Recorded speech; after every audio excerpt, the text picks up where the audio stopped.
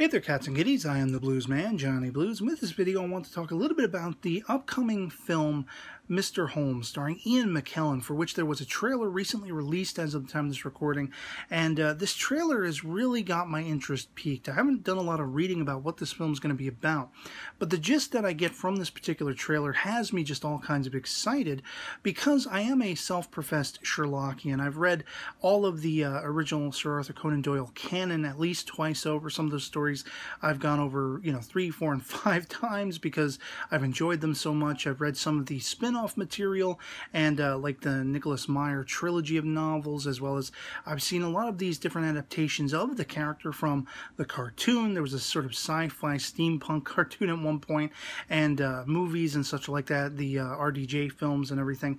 The only aspect of Sherlock Holmes that I really haven't delved into, and there are other movies I haven't seen, uh, but is the Benedict Cumberbatch Sherlock series. That's something I really want to be able to get to at some point in the future. Um, but the thing that most compels me about this particular trailer and what the story is going to be about, as taken from this trailer, is Ian McKellen is playing an aged Sherlock Holmes. You know, uh, he's basically calling back on a cold case, a case he, I guess, never solved, and I'm not exactly sure what the reasoning behind that is. Um, not sure what the case involves, whether it's somebody who was murdered or had gone missing. Uh, you know, it basically what calls into question for me by watching this trailer is, you know, Sherlock Holmes is supposed to be this uh, very sort of mentalistic character. You know, uh, he's very cerebral. He can break down the fundamentals of crime and criminology through sort of perceiving things on a level that, you know, the average person's brain just can't. And, uh, you know, with time being of the essence and sort of becoming older and older and older, he's becoming his own worst enemy in that he's losing that cohesion. He, he's losing that ability to perhaps perceive the world as critically and as logically as he once did. Uh, to the point in this trailer, we're seeing that he's kind of taken under his wing this young boy who admires him and who's familiar with his history and such like that, wants to learn more about him, interact with him, ask him questions about his cases and adventures and stuff. And uh, this boy he's had to take to writing down the boy's name, I think it's Roger or something like that, on his shirt sleeve, and go about manufacturing ways with which to, uh, you know, he's moving stuff around on his desk or what have you, to pull out his shirt sleeve enough to know how to reference the boy, what the boy's name is. And so we're seeing a breakdown of his mentality. And the reason why, even though we're given some information about what, you know, this case involves, I call it into question because how much of this story might be delving into the idea of dementia and, uh, you know, the breakdown of his, you know, logical sort of, uh, capabilities and such like that.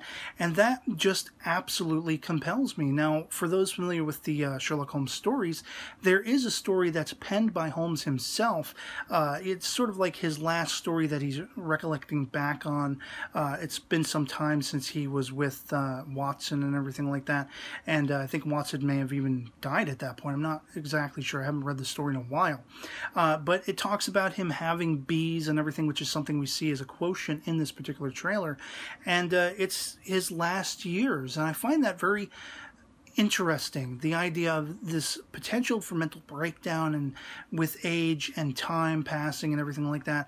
Uh, will this case prove to be a success if he goes back over it? Is there even something to it? Is he perhaps remembering it incorrectly. You know, all of these things come into question, and I just find so many potential avenues they could explore along those lines that I'm primped at the edge of my seat for it as a Sherlock Holmes fan.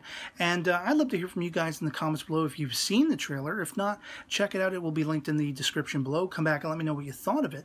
But if you have seen the trailer already, whether you are a Sherlock Holmes fan or not, uh, be it based on the Cumberbatch series or any number of uh, other incarnations you've encountered of this particular character, let me know what you thought of the film. Does it have you as excited? Uh, can you perceive the potential in a story uh, as it's being set up in this particular trailer, or is it something that you'll gladly pass? Uh, you know, anything goes in the comments below along those lines. And so, yeah, otherwise, uh, that's pretty much going to be it for me on this. I'm just really stoked for this movie, and uh, hope this video finds you well, and I'll catch you all later. Peace.